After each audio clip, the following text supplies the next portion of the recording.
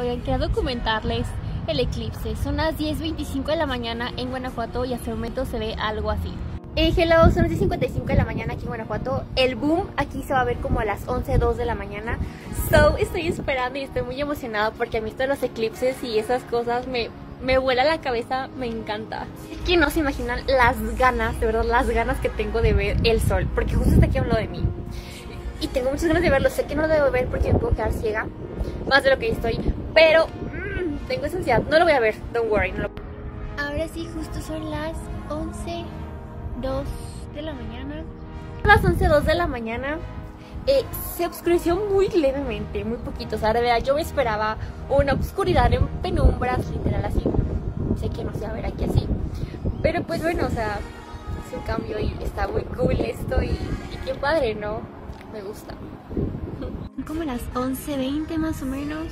La luz es súper tenue.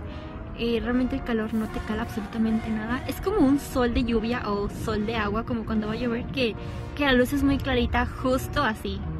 Esta preciosa llegó volando hasta mí. No, les juro que yo me siento con las good vibes hasta no se imaginan dónde. Eclipse y todo aquí renovada.